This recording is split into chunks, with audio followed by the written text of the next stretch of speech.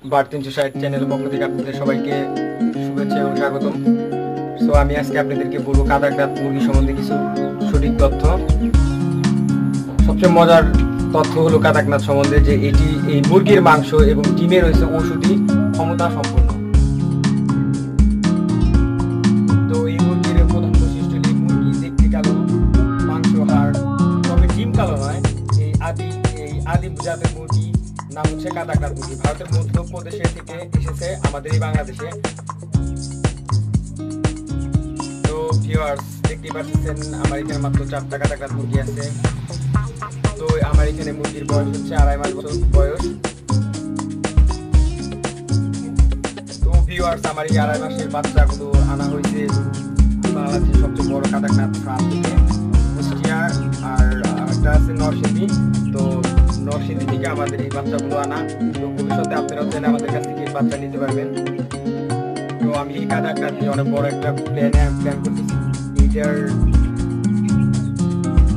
এটা নিয়ে মানে এটা নিয়ে আমরা বড় ধরনের একটি ফার্ম করতে চাইতেছি মানে এটার প্রসারিত আর বড় করব। অনেক মুরগি পালন করতে চাই একসাথে।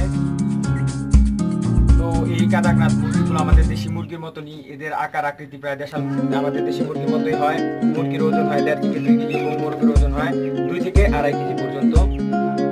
তো এই মুরগিটি সম্পূর্ণ অংশই কালো দেখতে পাচ্ছেন এটার চামড়া, তারপরে শরীরের লোম, সবকিছুই কালো। দেখ- দেখেন। ঠোঁট, চোখ, তারপর আপনার পাও, সবকিছুই কালো এই মুরগির। ভিউয়ার্স আমাদের মুরগির খাবার খাবার টাবার সম্বন্ধে আমি কিছু বলতেছি আপনাদেরকে। তো এই মুরগিকে আমরা খাওয়াই প্রায় সিক্সটি পার্সেন্ট আমরা এই ভুট্টা, গম ভাঙা তারপর আপনার সব বেশি খাই ধান এসব খাই আর ফোর্টি পার্সেন্ট খাই আমরা এই শাকসবজি। তো এই মুরগি, তো বিশেষ করে এই মুরগিকে আমরা কলমি শাকই বেশি খাওয়াই।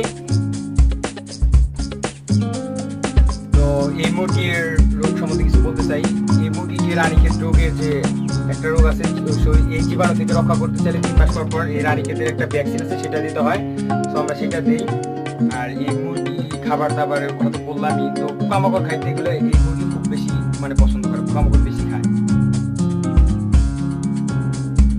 হ্যাঁ তো ভিউয়ার্স আপনাদেরকে এখন আমি কাদাকনাথ মুরগি দেখাবো। এটার আকৃতি কেমন এবং এটাকে দেখতে কেমন লাগে। তো দেখতেই পারতেছেন কাদাকনাথ মুরগি সে যে লোমগুলো একবারে কালো, সম্পূর্ণ অংশই কালো। লোম সব কালো দেখেন এটার চোখ, ঠোঁট। তো কাদাকনাথ মুরগি তিন জাতের হয়ে থাকে, একটা হয় সম্পূর্ণ ব্ল্যাক আর একটা পেন্সিল একটা গোল্ডেন তো যেটার পেন্সিল হবে, সেটার এই যে এখান দিয়ে পুরুষ যে মোরগটা হবে সেটা এখান দিয়ে সাদা সাদা লোম হবে, এখান দিয়ে সাদা লোমগুলো হবে। আর যেটার গোল্ডেন সেটার এইখান দিয়ে মানে লালচে লালচে এই পশমগুলো বেরোবে, লালচে লালচে লোম থাকবে। আর যেটা ব্ল্যাক সেটা সম্পূর্ণ এরকম একবারে কালো থাকবে। তো দেখেন এটার তো দেখেন এটার মাংস মাংস মাংস এবং চামড়া সম্পূর্ণই কালো। দেখতে পাচ্ছেন এটার একবারে সম্পূর্ণ কালো। এর ভিতরের অংশটাও কালো এই যে পাওটাও কালো দেখেন। দুটা পাই কালো। দেখো, এই যে। দেখাইতেছি। তো দেখেন ঠোঁটের ভিতরের অংশ একেবারে কালো। ভিউয়ার্স আপনারা দেখতে পারতেছেন যে কাদাকনাক মুরগির ঠোঁট। তো- ভিউয়ার্স দেখেন কাদাকনাক মুরগির যে ঠোঁটটা।